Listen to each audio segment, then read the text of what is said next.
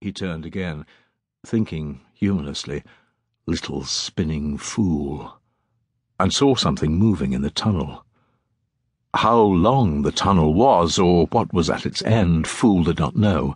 He was forbidden to enter, as was everyone except the delegates and the successful, sorrowful, who by that point were no longer the sorrowful, Fool supposed, but more likely the gleeful or the joyous. It was long, though, he knew that, its illuminated length stretching as far as he could make out into the rock in a wide, arched corridor. There were no lamps in it that he could see, but it was bathed in light, nonetheless, a cold gleam that seemed to come from the walls themselves and which cast no shadows. He went to the entrance, knowing that it would be some time yet before the delegates arrived, but also knowing that this was the point of it. This was the duty. He had to be there, honour guard and escort, from the moment they entered the tunnel, standing as an obedient servant, faithful as a dog. Little dog, he thought. Little fool dog. Looking up, he watched the clouds. Even at night they glowed, the gleaming white blue of promise and hope. They were never still, the clouds, scudding and swirling, occasionally breaking to allow him glimpses of the other city beyond them. The shapes in the tunnel approached slowly, coalescing from the light as they came towards him. He watched them emerge, forming, imagining that cold blue light making itself into perfect, flawless, hard flesh, and flexed his toes and his thin boots.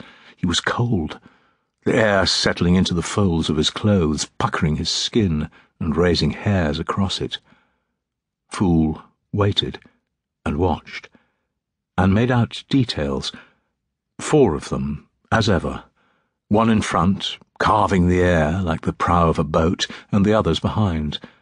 One of the following, the one at the rear, was framed by arced patches of brightness that reached high above its head, moving flexing wide to fill the tunnel.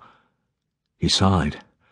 They were almost here, their skin shining, bright and flawless.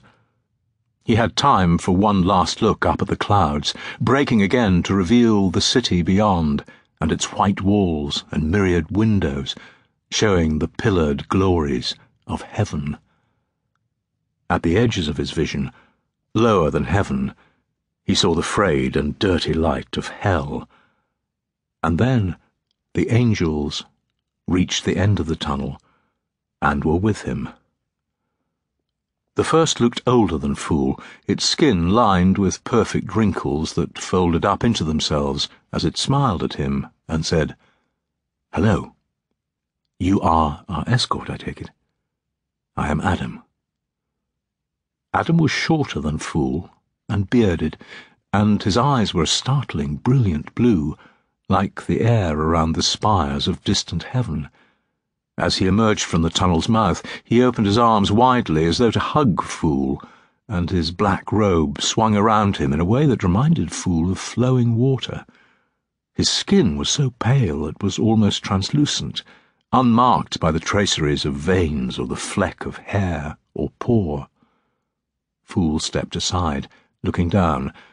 Looking at Adam was like trying to stare at a candle flame without blinking, but even the ground glinted, as though reflecting Adam's light. It made his eyes ache.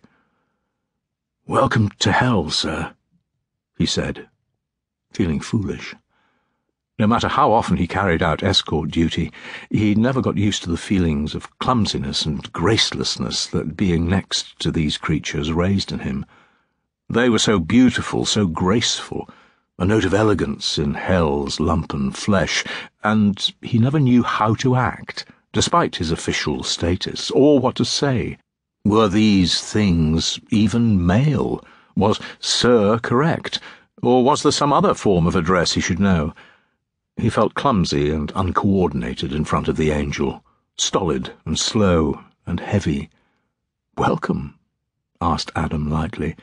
No, there is no welcome here, I would hope, but only the opposite the knowledge of pain and suffering, and the distant chance of redemption. Perhaps it means to insult us.